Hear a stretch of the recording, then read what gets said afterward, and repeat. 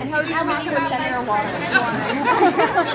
did you talk about vice presidential possibilities with Senator Warren? You guys have got to try the cold chocolate.